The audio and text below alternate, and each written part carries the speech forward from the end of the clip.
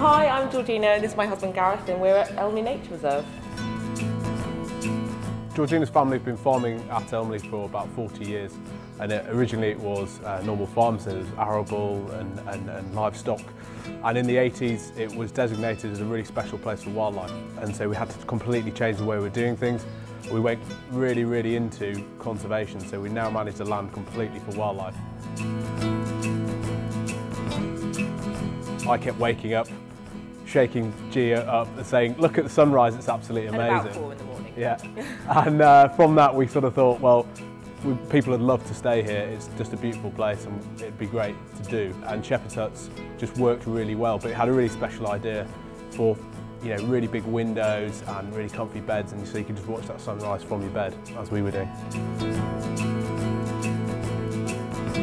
I sometimes take people around as a, a 4x4 tour in our little green Jeeps. We can get all over the marsh and, uh, and have lots of fun. And just, you know, particularly at sunset or dawn, if, if people are really keen, uh, it's just that really special time when the wildlife's really active.